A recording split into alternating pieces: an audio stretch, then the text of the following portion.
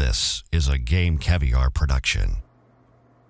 Okay, so not having it in the Game Caviar Studios, I'm playing Black Ops and I'm talking about Black Ops 2. I was on mp1st.com and I saw a an article that that really got my attention. It says Black Ops 2, the Treyarch moved to the future to make COD interesting again. Excuse me, I've had a few beers.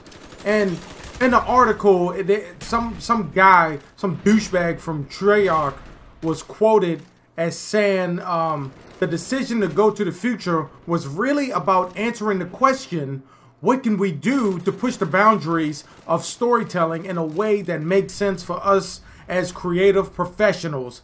I was immediately waving the bullshit flag on that because in a video game you don't have to switch time frames to make a game interesting again uh, uh on the same note it does make the game somewhat interesting, but in the case of Call of Duty, if you have the same bullcrap that you had in recent Call of Duties, it's not going to be interesting for long. Look, the storyline for the single player in Call of Duty is great. It's always been great. What what can you possibly do? Look, if you make a good storyline, you have that blueprint. You don't have to go to the future to make it better to to push the boundaries of storytelling. I'm not buying that, and I don't think you should either. If you like this video, press like right now, and if you haven't subscribed to the channel, please do so.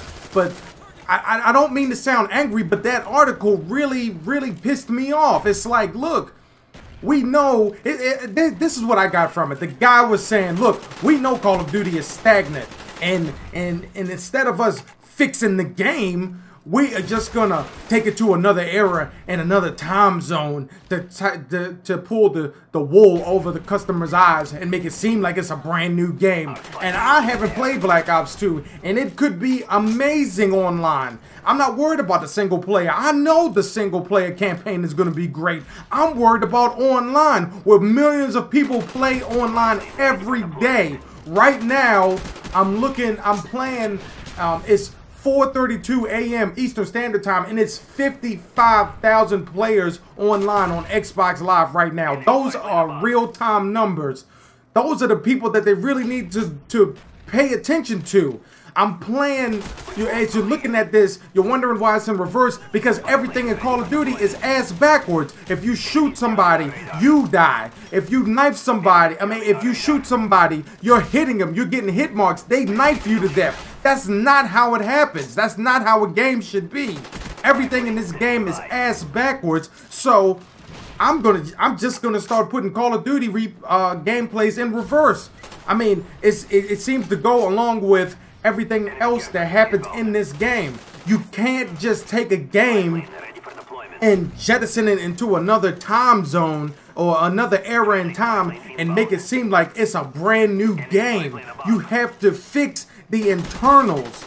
That's like if if somebody is a murderer and a rapist and you see how they look and then you put a wig on them and some lipstick, does that make them a different person? No. They're still the same monster that that was doing the same bad stuff before you put the wig and lipstick on it. I mean, it's like it's like they said, it's like putting lipstick on a pig. If you don't fix the internal components of the game, it's still going to be the same thing. Of course, moving to 2025 was a great idea. I guess it was eye-opening. When I heard about it, I was like, really? Are they going into the future? That's cool. But what about lag compensation? What about the the the matchmaking? What about everything online that absolutely kills this game? What about that? What are they going to do to fix that? I have yet to hear anybody from Treyarch or Infinity Ward say that they are going to fix the issues that plague people online. If you want to make Call of Duty interesting again, get dedicated servers. Fix online. That will instantly make Call of Duty more interesting. I don't give a damn if it's in the damn Stone Age and you're playing this damn Fred Flintstone. If you fix online, guess what? It's instantly more interesting to me now because I'm going to be like, look, I can play online and not get screwed over by this game. This is ridiculous. How many, how much more are we as consumers going to take from these companies that are feeding us bullcrap games every year and and just raking in the money. This is ridiculous.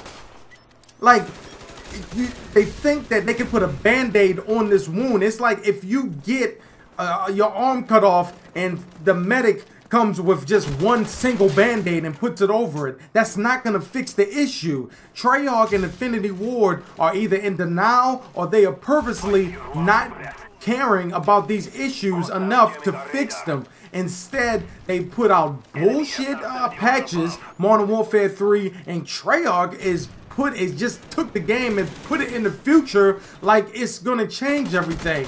Now, like I said, I haven't played online on Black Ops 2, but uh, just looking at the history of Call of Duty, especially in the last couple years, eh, you can just imagine what online is going to be.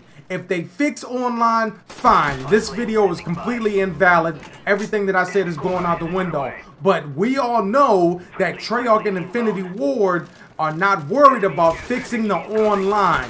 If they were, they would get dedicated servers. They would actually talk about the lag compensation and everything that plagues online and what they are doing to fix it and actually follow up and fix it. Like this video, comment on this video. Let me know what you think. I will put the link to this article in the description and please let me know. I love talking to subscribers and I love hearing what you guys think. I'm not having it and I'm out. This has been a Game Caviar production. Like this video and subscribe for more.